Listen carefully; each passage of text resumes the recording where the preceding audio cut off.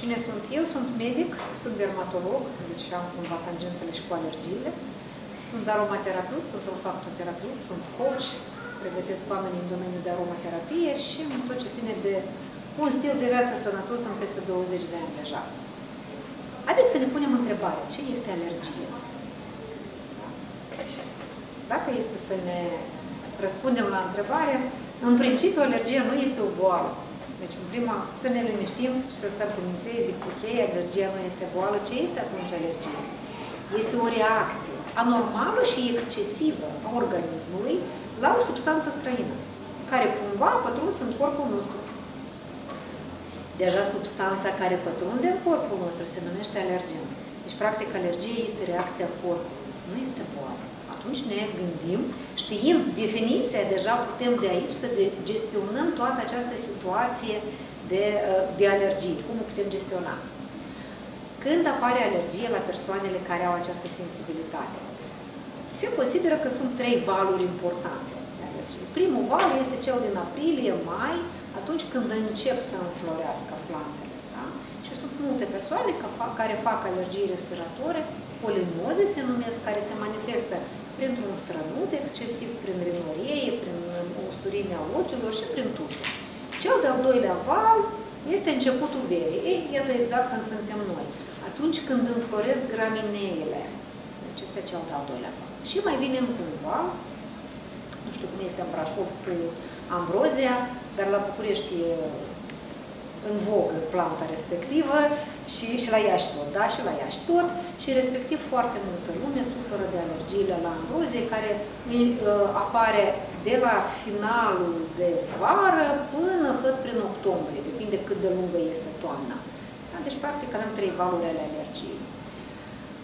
În principiu, oamenii nu au aceste simptome de alergie și în majoritatea cazurilor toată lumea este alergenă, ă, are imunitate sau este destul de tolerantă la diverse tipuri de alergii. Dar sunt persoane mai sensibile de felul lor. Da? Această sensibilitate apare din diferite motive. Poate că din motivul că a consumat prea multe antibiotice și a dezechilibrat flora intestinală. Asta este unul din factorii cei mai importanți. Cel de-al doilea factor este consumul în exces a zaharurilor, fiindcă zahărul uh, crește nivelul de inflamație și acumulează foarte multe toxine în corp, respectiv încă un pic de toxine și atunci se manifestă alergia. Um, alergia uh, nu neapărat să se manifeste cumva pe piele sau prin anumite simptome, poate să se manifeste doar prin anumită sensibilitate, da? Un pic de strănut, un pic de curs de nas, un pic de... Dar pe an ce trece, picul ăsta se face tot mai mult și mai mult. Ce este hipersensibilitatea? Este o formă mai gravă a răspunsului imunității, care apare în momentul în care pătrunde în corp acel alergen. În momentul în care pătrunde în corpul nostru un alergen, corpul cumva trebuie să se protejeze de acea substanță străină, da? deci a venit un intrus, trebuie să ne protejăm. Ce face el? El produce o imunoglobulină.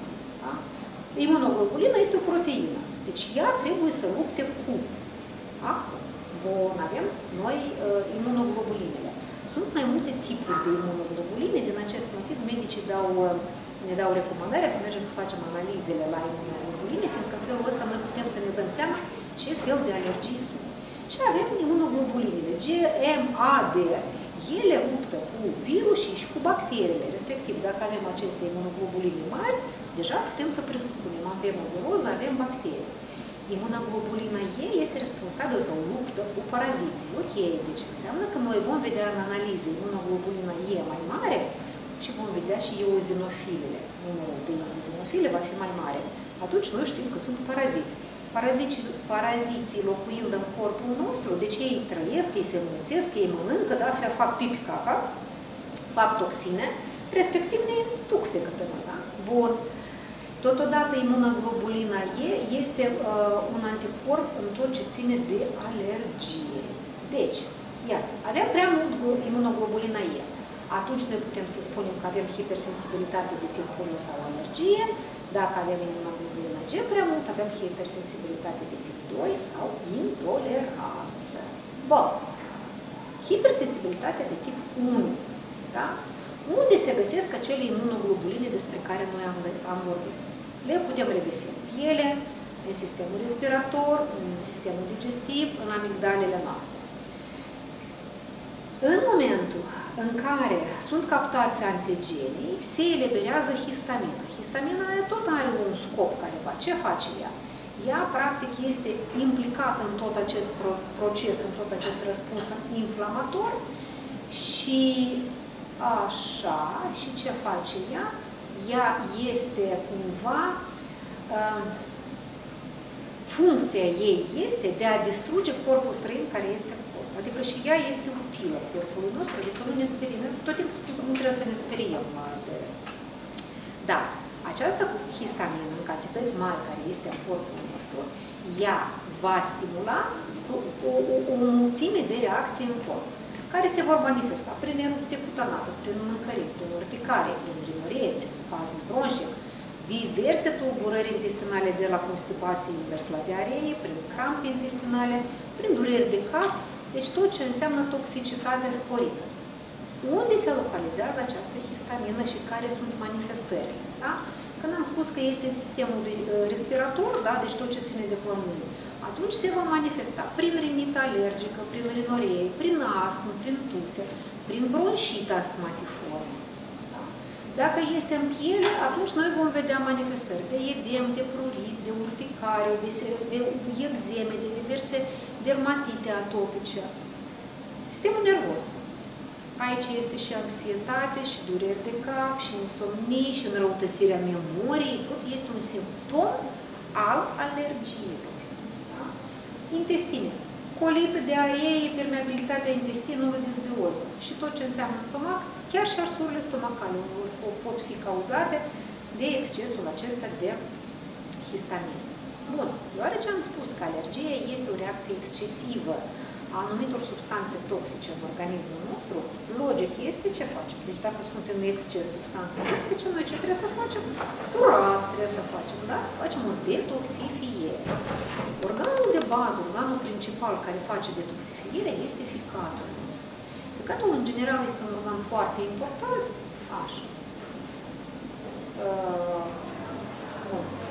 Sărim așa și pe urmă ne întoarcem înapoi. Ficatul este un organ foarte important care uh, îndeplinește mai mult de 300 de funcții în corpul nostru. El este inclusiv este responsabil de producerea și a hormonilor, deci nu este doar despre sistemul digestiv, și el este principalul organ care își îndeplinește funcția de detoxifiere. În general, în momentul în care noi ne spunem, ok, bine, ce fac eu în momentul în care sunt alergic, da? Clar că noi trebuie cumva să schimbăm și modul de viață trebuie să uh, restabilim funcționarea normală a barierelor. Inclusiv este vorba și despre piele. Da? Să folosim acele produse cosmetice care nu dau peste cap bariera hidrolipidică a pielei, uh, fiindcă funcția ei este de protecție împotriva virusilor și a bacteriilor. Neapărat excludem din alimentație zahărul, excludem lactatele din alimentație, glutenul și grăsimile alimentare, excesul de grăsimi alimentare. Deci e obligatoriu. De ce? Fiindcă și zahărul, și lactatele, și glutenul produc foarte multă inflamație în corp. Se, consum, se recomandă să se consume cantitățile necesare de apă, să facem sport. Programele de detoxifiere primăvara și toamna chiar neapărat sunt recomandate.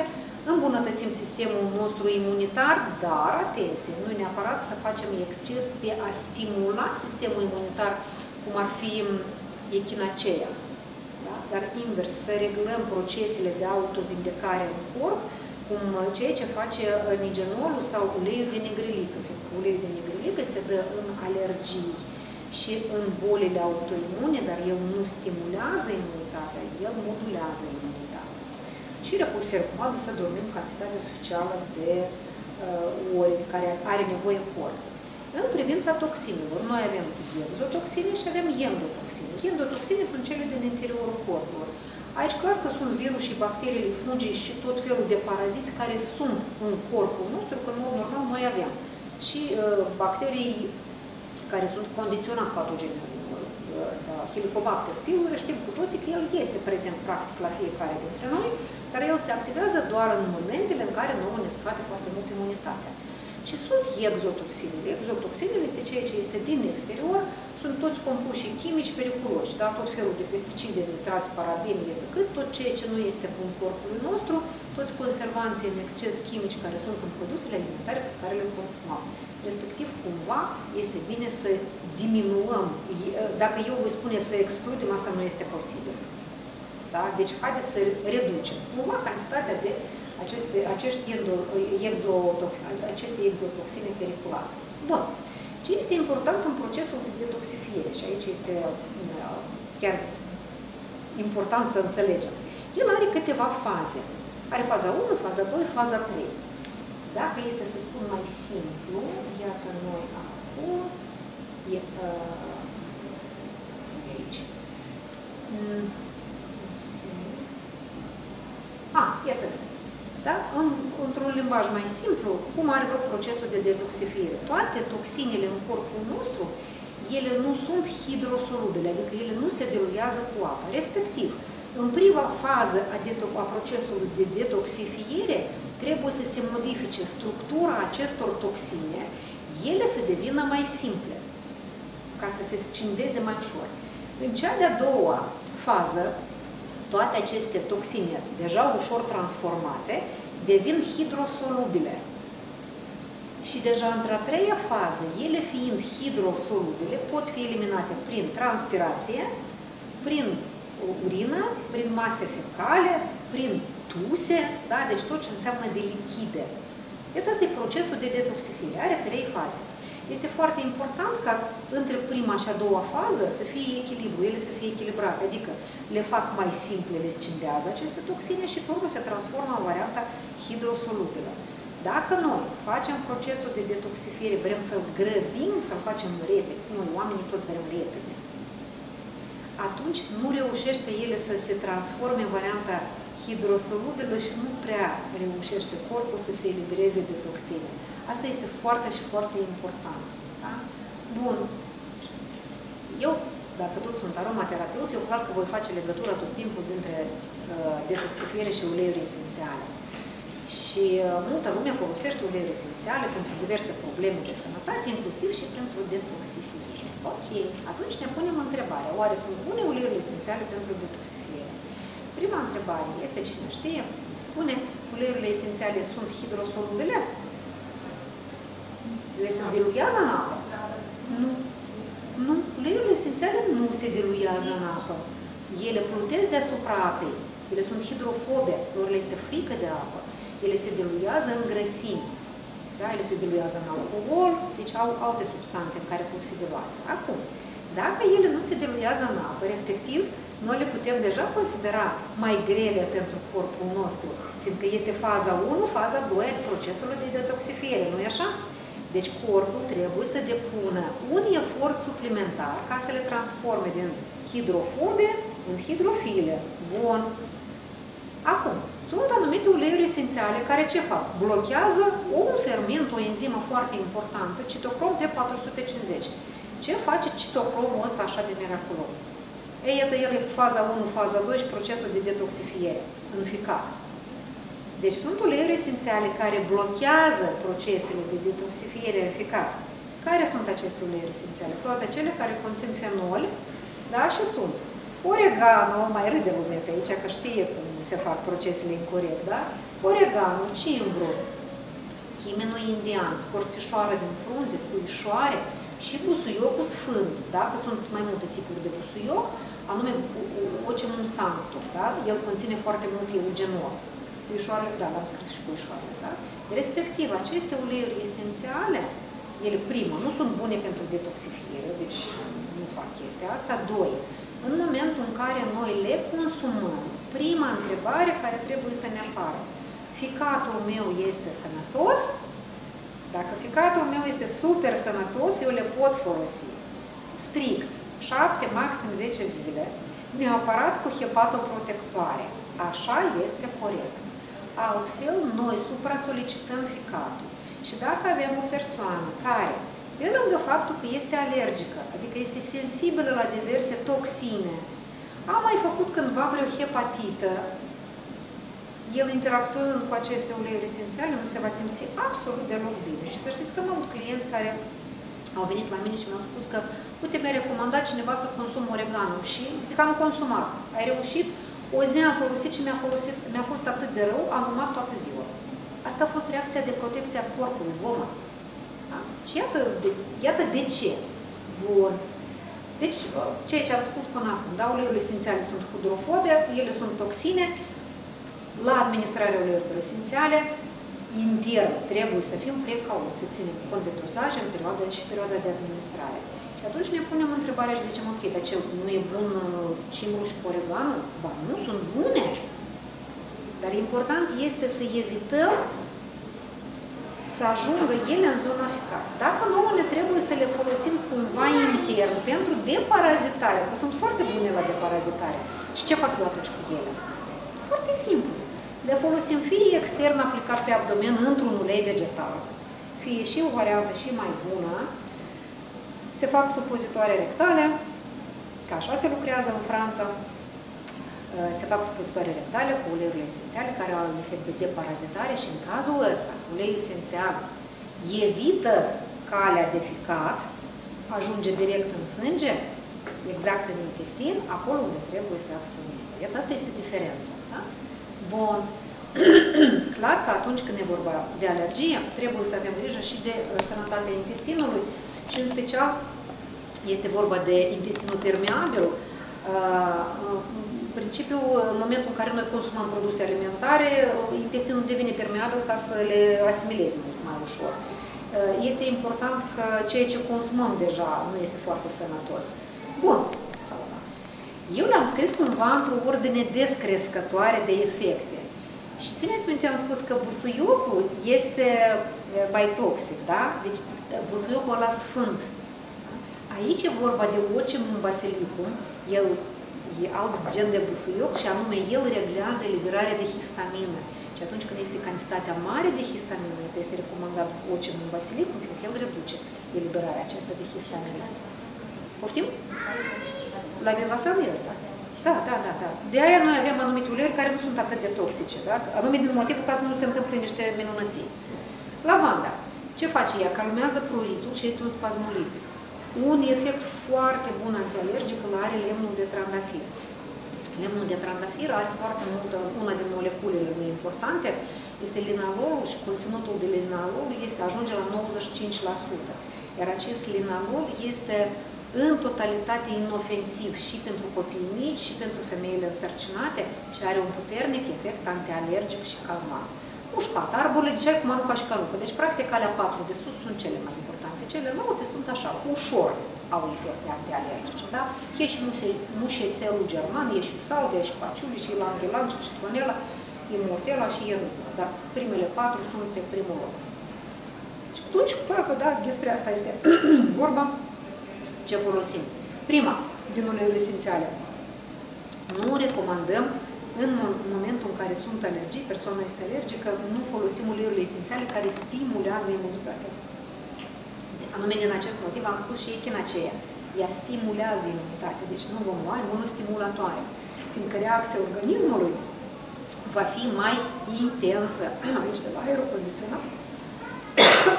Pardon. Alergie. Nu e de la aer condiționat. E o alergie în oameni, în principiu. Ca o excepție, unicul ce putem să folosim din imunostimulatoare este din uleiuri esențiale, este eucaliptus radiata, fiindcă el reglează imunitatea, deci el este nu imunostimulator, dar imunomodulator. Bun. Putem noi să folosim, da, putem și putem să facem și rețete cu uleiuri esențiale, inclusiv putem să le folosim și pentru copii și pentru adulți, eu vin uh, și recomand uh, un tip mai complex. Nu ne uităm doar la uleiuri esențiale când este vorba despre uh, alergii, dar primul pe listă și-am spus despre ficat. După părerea mea și văd după reacțiile și clienților și după rezultate, extractul din sâmburi de greu. Este unul din produsele care face curat. Curat unde face? Pe sistemul limfatic și pe sistemul digestiv. Sistemul limfatic este gunoierul în corpul nostru. El strânge, el acumulează acele toxine care sunt în corp. Respectiv, dacă noi vom ajuta sistemul limfatic să facem curat în el și în el, atunci reacțiile acestea alergice deja nu mai, nu, nu mai sunt atât de intense. Plus, extractul din sâmburi de greu are un gust foarte amar. Știm foarte bine că tot ce este foarte amar este foarte bun pentru bila noastră. Dacă avem o bilă sănătoasă, atunci, fiind secretată cantitatea necesară de bilă în intestin, crește peristaltismul intestinal, noi deja facem detoxifire, că mergem la toaletă regulat, se curăță intestinul. Plus, bila ce face? Are efect antiparazitar și ea. Ea scindează și grăsimile. Deci se face deja, îmbunătățind funcția sistemului digestiv, deja are loc procesul de detoxifire. Corpul nostru este foarte inteligent. El singur poate să se detoxifice, fără ajutoare din exterior. Cu condiția, da, dacă noi nu facem exces de anumite produse alimentare, dar noi totuși mâncăm și ceea ce nu este sănătos și mai facem și stres și sunt persoane care s-au născut mai sensibile la ceva și atunci clar că e nevoie de ajutor în cazul lor. Bun. Uh, pe locul neapărat recomandat după extractul de sâmburi de greu, eu recomand nigenoul. Nigenoul este ulei de negrilică, îmbogățit cu vitamina E și care se dă tot ce înseamnă urticarii, eczeme, polinoze, neurodermite, dermatite atopice, adică manifestări atât pe pielea, cât și manifestări respiratorii, inclusiv și în astm bronșic, și iată, el este produsul care într-adevăr vindică. Deci dăm și din interior și din exterior, dar pe uleiurile esențiale. Iată, amestec antialergic pentru masaj, da? Și iată, facem combinații de busuioc, lavandă și ylang-ylang. Iată, așa un amestec, el va fi sinergic și el va fi eficient în cazul alergiilor inclusiv și cele care se manifestă prin tuse respiratorii sau care sunt și pe piele. Bun, ceva aici. Aici avem un amestec antialergic pentru copii, fiindcă busuiocul nu neapărat că poate fi folosit la copii mai mici uh, și din acest motiv aici avem lemnul de trandafir, care nu are contraindicații ca și vârstă, poate fi folosit și inclusiv la bebeluși, lavanda, dar anume lavanda angustifolie sau lavandula officinalis, care nu are contraindicații de utilizare la bebeluși, și atunci avem două uleiuri esențiale în totalitate inofensive pentru cei mici, și atât ăsta este amestec strict pentru bebeluși, adică recomandat pentru bebeluși. Dacă pentru bebeluși nu folosim orice uh, ulei esențial. Și um, putem să folosim uh, uleiul de jojoba, la fel ca și ulei de bază pentru cei mici, fiindcă uleiul de jojoba are structură biochimică similară cu sebumul de pe pielea noastră, respectiv pielea bebelușului îl va, îl va percepe ca fiind ceva foarte mm, familiar și nu are nicio reacție negativă împotriva acestuia. Putem să folosim uleiurile esențiale în difuzor. În difuzor, cele mai recomandate sunt arborile de ceai, cu manuca și canuca, este eucaliptul, este nupărul și este chiar și lămâia. De ce anume acest amestec?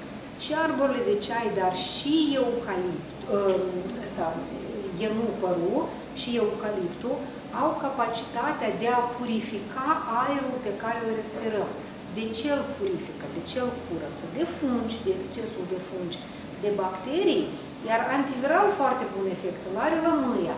Și atunci a, a, combinația aceasta de uleiuri cu efectul său puternic și antiviral, și antimicrobial, și antifungic, plus uleiurile esențiale au capacitatea de a transforma uh, moleculele încărcate pozitiv, le transformă în încărcate negativ și atunci vom avea mai mulți ioni încărcați negativ în aerul pe care îl respirăm, plus cumva uleiurile esențiale învelesc microparticule de praf care nu le vedem, da?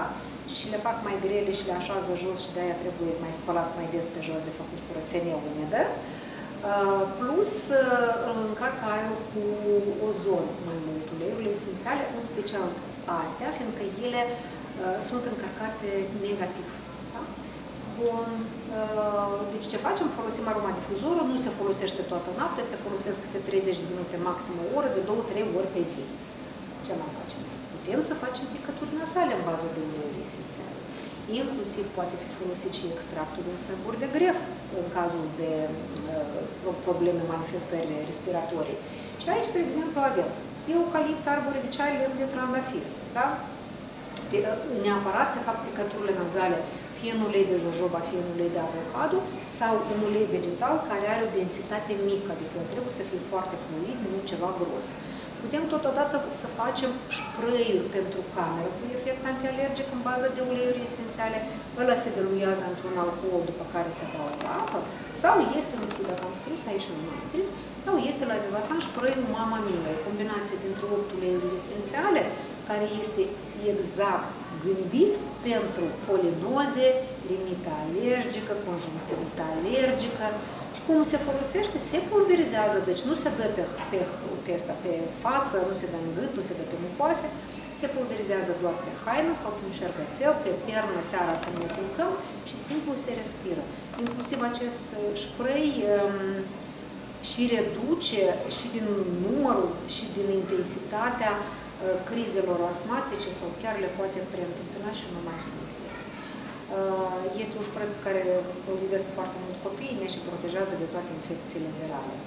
Deci cam așa ar trebui gândit un... Um, poftim? Și sprayul nazal, da, care îl are Vivasan, tot este în bază de uleiuri esențiale și extract de sâmburi de greu, este și antialergic. Adică putem să ne jucăm și să facem chestiile astea, dar putem să folosim și soluțiile gata pregătite. Ideea este că dacă ne știm că suntem mai sensibili la anumite substanțe, nu ne panicăm, asta e prima la mână, începem să facem curat în ceea ce, cum noi mâncăm și cum noi și gândim inclusiv, apropo și despre și gândire în cazul alergiilor, pentru că, iată, spre um, exemplu, uleiul esențial de lemn de trandafir, uh, din punct de vedere emoțional, este uleiul esențial care ne ajută să scăpăm de intoleranțele emoționale, adică acea uh, cum a putut ăsta să facă așa?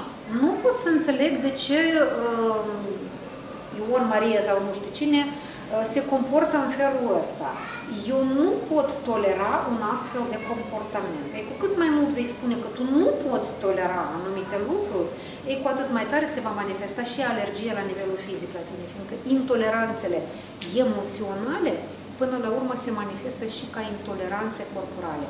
Iar lemnul de trandafir ne ajută să vindecăm intoleranțele emoționale, ne face să înțelegem că există și o altă opinie și o altă dreptate și este loc de mai multe opinii pe această planetă și nu este doar dreptatea ta cea mai dreptate. Este cam despre asta. Cam asta a fost mesajul meu pentru astăzi. Eu vă doresc să aveți o viață fără alergii, inclusiv cele emoționale. inclusiv cele emoționale. Dar să fiți mai toleranți, fiindcă olerurile esențiale ne ajută să fim mai toleranți și față de noi înșine. Da? Nu, nu doar față de cei care sunt în jurul nostru, dar și față de noi înșine, că uneori și noi pe noi ne supărăm și ne irităm. Deci facem pace cu noi, facem pace cu lumea înconjurătoare și veți vedea cum se face pace în tot ce înseamnă sănătate. Vă mulțumesc mult pentru atenție!